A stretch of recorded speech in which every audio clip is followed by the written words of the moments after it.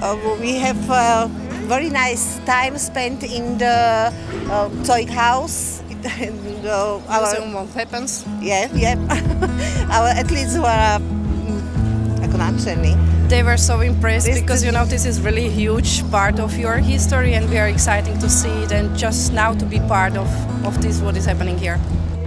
We will continue go around the city and uh, enjoy the atmosphere of very nice Graz.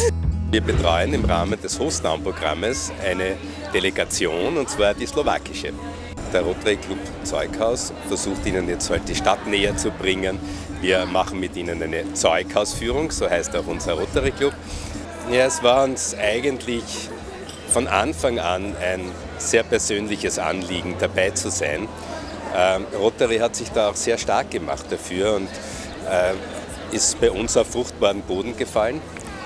Äh, zur Slowakei sind wir deswegen gekommen, weil der Honorarkonsul der Slowakei für die Steiermark bei uns Clubmitglied ist und dann hat sich das automatisch ergeben. Sehr schön.